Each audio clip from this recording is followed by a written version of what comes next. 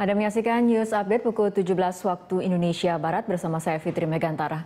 Pemirsa Menteri Agama Lukman Hakim Saifuddin berharap Badan Nasional Penanggulangan Terorisme mengeluarkan penjelasan dan definisi terhadap situs atau media yang dianggap membawa paham radikalisme.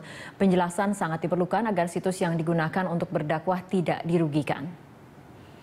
Pernyataan itu disampaikan Menteri Agama Lukman Hakim Saifuddin menyikapi pemblokiran 22 situs yang dianggap menyebarkan paham radikalisme oleh Kementerian Komunikasi dan Informatika.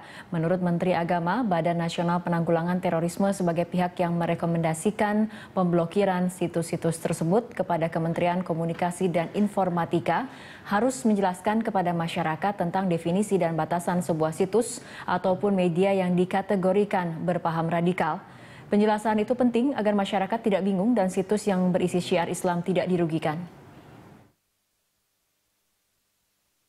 Sudah berkomunikasi dengan kepala BNPT agar memberikan penjelasan resmi kepada masyarakat agar masyarakat juga mengerti apa definisi radikal itu apa batasan sebuah situs atau sebuah website atau sebuah media itu dikategorikan atau dinyatakan radikal sehingga harus ditutup supaya tidak mempengaruhi eh, masyarakat luas. Nah karenanya saya berharap eh, ada informasi resmi seperti itu supaya juga jangan uh, kemudian berlebihan atas nama mencekal atau me, menyikapi radikalisme, ekstremisme dan lain sebagainya, lalu kemudian uh, berdampak negatif bagi sejumlah situs atau website yang memang benar-benar menjalankan dakwah yang baik begitu.